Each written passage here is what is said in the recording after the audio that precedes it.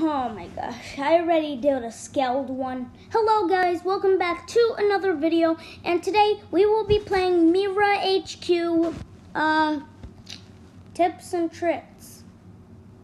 Yeah. Mira HQ, if you have never heard of it, is just a continuation of Among Among Us's uh, maps. There's not only one map. There's three actually. So, for a crewmate, I really only have one thing, and that's just to look at the door logs.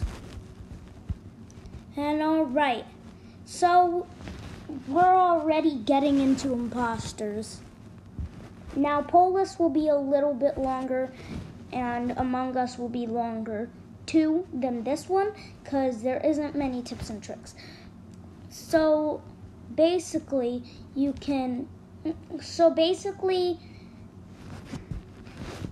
you wouldn't check admin as much as door logs if you're a crewmate. And to be honest, imposters can take advantage of that.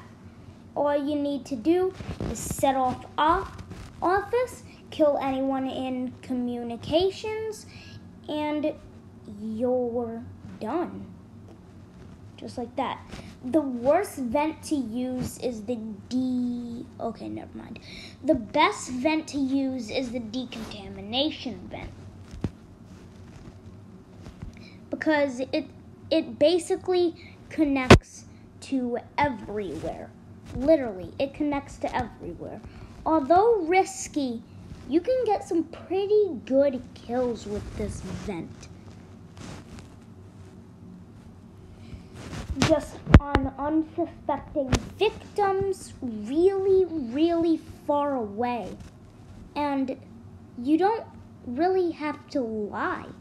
Look, look, literally just look. It shows the blood. All you have to do is just hop in this vent decontamination vent and say that you were all the way over here. Isn't that cool? Office is definitely uh, one of the best uh, thing. Office vents well, vents are connected to everywhere in this map. So, as an imposter, you should try to take advantage of that. But be careful. Some people can hide in this little thing. I don't really know how they do it, but some people can hide in this thing. And and if you see a kill button next to it, make sure to take advantage of that. Because that is very creepy if you're just an imposter and you just hop out of a vent. You don't have your kill cooldown good, and yeah.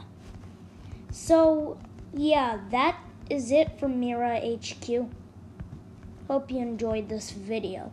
And I know this was a short one, but it's because I don't know much about Mira HQ. Bye.